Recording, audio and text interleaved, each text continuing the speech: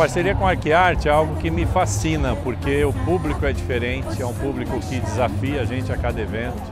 É um evento que a cada, a cada não só o feijão, como todos os eventos que eu faço com vocês, com a, com a Arquiarte, é um desafio pessoal, é algo que a gente tem que superar e está sempre se superando. Porque o profissional dessa área ele é muito detalhista, né? Nós, donos de bufês e que trabalhamos na área de gastronomia, sempre focamos, é, a base da gastronomia é focar em alimento, em como fazer e o que desenvolver, né? E o ramo de arquitetura, ele é um ramo que você, além de pensar no que vai servir, no que você vai comer, você tem que pensar no que você vai ver, no que você vai sentir, no que você vai proporcionar de sentimento e não só de alimento. Então é interessante. Olha, cada ano, é, para mim sempre foi um desafio novo, né? Quando eu comecei a Feijão no Fogão com o Fred e o pessoal da Arquiarte, se eu não me engano, esse é o quarto ano, se eu não me engano. Mas o primeiro ano para mim foi um desafio, porque a minha culinária toda, meu buffet, voltada à culinária mais social, uma culinária mais... É, não existia a culinária feijoada num padrão tão alto como a gente fez. Então, para mim, é, quem me conhece sabe, eu busco sempre desafios, eu não gosto de coisas normais. Normal para mim não existe, então para mim eu gosto de desafio, eu gosto de nadar contra a maré. Né? Como diz o Lair Ribeiro, quando você nada contra a maré, você busca o que as pessoas que correram de lá deixaram. Então a gente pega grandes tesouros. Então nadar contra a maré, isso sempre para mim foi um desafio.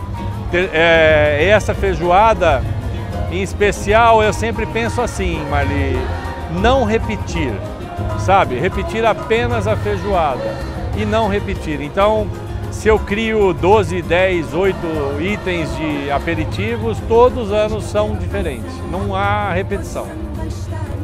É, nós comemoramos 10 anos de buffet e mudamos toda a máscara do buffet, né? A gente, eu acho, sei lá, eu tenho uma visão normal, é, minha, muito pessoal, né? Normal não, pessoal, de uma empresa que é como a gente, né? A gente nasce, fica adolescente, cresce, então a minha marca ficou adulta. E de repente eu descobri qual é o lado que eu tinha que atingir com a minha marca. Então isso eu transmiti hoje para minha nova marca. Então quando a gente fez 10 anos, eu resolvi estilizar num jeito mais elegante, mais criativo.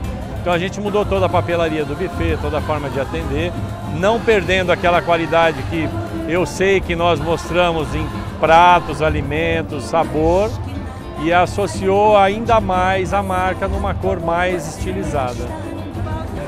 Guto Menezes, a marca do seu próximo evento. Eu tenho a minha esposa, Viviane Menezes, ela é arquiteta, formada há 14 anos ou 12 anos, não me lembro. E ela tem um escritório junto conosco no Buffet, é uma empresa só. Então ela desenvolve para nós alguns projetos de cenografia, onde o Fred se interessou por algumas coisas e chamou ela, convidou para fazer parte desse projeto. Então hoje já é o terceiro ano que a minha esposa Viviane Menezes ela faz todo o projeto da execução da festa. Então, o que nós chamamos no nosso mercado de buffet, de eventos, é a parte cenográfica, onde nós criamos. Por quê?